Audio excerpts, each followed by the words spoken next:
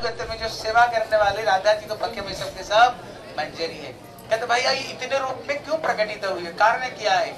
इसलिए वेद कहता है, एक अभी बहुश्याम, एक मेव अद्वितीय। वो एक है, वो अद्वैत ज्ञान परतत्व तो भगवान कृष्ण है। कृष्ण ने देखा, भैया, एक स्वरूप तो लीला नहीं कर सकता, जब तो दो नहीं हो। इसलिए रास मंडल से कहते, श्री राधा रानी रास से प्रकट हुई, इसलिए उनका पहला नाम रा। अब प्रकट होकर के सुंदर सुंदर पुष्प चयन करते हुए कृष्ण की सेवा करने के लिए धावित हुई। धावित मतलब होता है दौड़ना। इसलिए उनका नाम क्या हो गया? अरे बोलो ज़ोर से। राधा। नाम हो गया। क्योंकि ये कृष्ण सेवा की ये मूर्तिमान स्वरूप। अभी एक से दो हो गए। अभी एक से दो होने पर कृष्ण ने देखा दो तो हो गई एक से। लेकिन इसमें भी काम नहीं चलेगा। जैसे क्रिकेट खेलते हैं फुटबॉल खेलते हैं उसमें ज़्यादा प्लेयर होनी चाहिए ना? है? एक दो से थोड़ी होगा, तभी तो आनंद आएगा। इसलिए तब श्री राधा रानी एक एक अपना भाव को ही उन्होंने एक एक मूर्तिमान रूप दिया है। इसलिए जो राधा रानी का जो पहला जो काव्य है, राधा रानी से जो पहला जो प्रकाश हुई, कौन प्रकाश हुई कहते ये ललिता सखी प्रकट प्रकट हुई है। ये ललिता सखी प्रकट हुई है। इस थोड़ी से बैठ जाओ, वहीं पर बैठ जाओ, थोड़ी सी बैठ दो दो मिनट बैठ जाओ। इसलिए वहाँ पर श्री ललिता सखी सबसे पहले प्रकट हुई है। इसलिए ये सखियों में ये सर्वश्रेष्ठ सखी श्री ललिता सखी। इसलिए हमारे गोस्वामियों ने एक बड़ा सुंदर एक उन्होंने एक श्लोक बनाया, ये सखी कौन कौन रूप में कैसे कैसे प्रकट हुई और इनके क्या क्या सेवा है। उसमें कहते हैं बोले तांबुलम भक्त ललिता, विशाखा गंध चंदने, चामरे चंपकलता, तुंग विद्या तुनर्तने सुदेवी जल सेवायाम राग श्री रंग देवी के। हैं? कहती, किसकी सखी का क्या क्या सेवा है? बोले तांबुलम भक्त ललिता। कहती है ललिता सखी का सेवा किया है? बोले तांबुल सेवा। आप लोगों ने कभी तांबुल खाए हो? खाए नहीं जानो पता क्या चलेगा। जो पान की जो बिड़िया होता है ना, ये ललिता सखी, देखो ठीक है? ये ललिता सखी बड़े सुंदर तांबुल मतलब पान की बिड़िया बना करके श्री राधा रानी को अभी जैसे लिपस्टिक माताएँ लगाती है ना पहले लिपस्टिक कुछ नहीं होता था है? इसलिए गुरुदेव कहते थे ब्रह्मचर्य हो ना अगर हमारे अंदर में ब्रह्मचर्य अपने आप तेज लग, निकलेगा ये लिपस्टिक लगाने कोई ज़रूरत नहीं। इसलिए पहले जब पान की मीडिया खाते तो अपनी आप उसमें क्या होता था मुँह में अपने आप होठ अपने आप लाल पड़ जाती थी।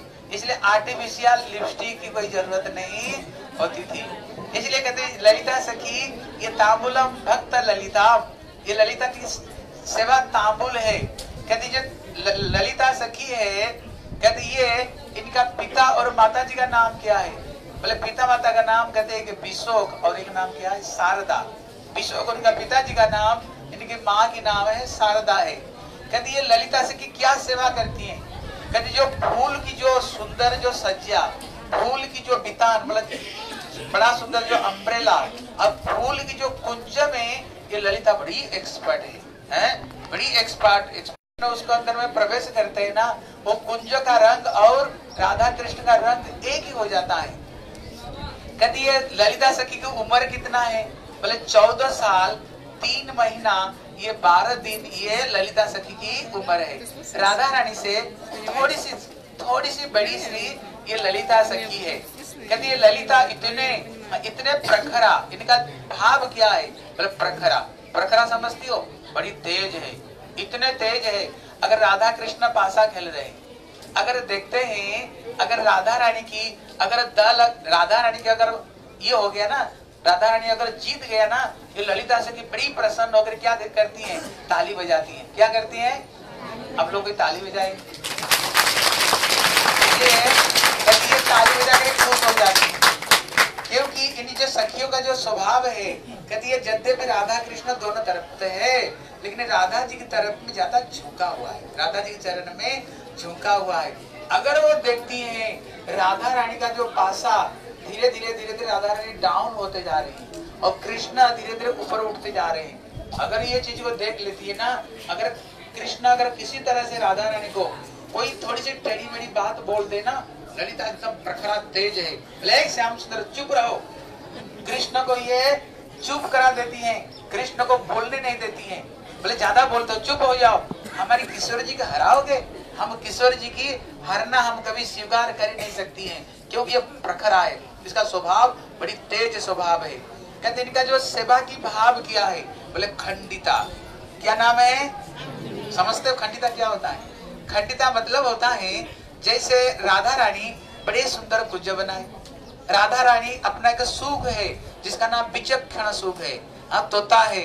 ये जाकर के कृष्ण राधा राधा जी को पास में कृष्ण का सारी खबर ये पहुंचाते हैं। जैसे राधा रानी सुंदर कुंज बनाए, अभी कुंज तो राधा रानी बनाए, बड़े सुंदर उन्होंने श्रृंगार की। लेकिन कृष्ण ने बताया था, ठीक इसी समय पर मैं आने वाला हूँ।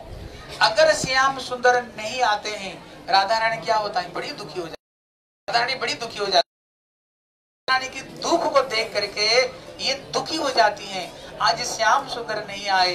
श्याम सुंदर के विरह में राधा रानी दुखी है। इनकी दुख में जो दुखी हो जाती है। इसको नाम कहते हैं खंडिता। मतलब समय दे करके, समय का टाइम में जो नहीं आने पर श्याम सुंदर, राधा जी की दुख को देख करके जो दुखी हो जाती है इसे नाम खंडिता भाव है। कहते जो ललिता सखी है, कहते ये इनका जो बाध्य है अलग अलग सखियों का अलग अलग वाद्य बजाती है।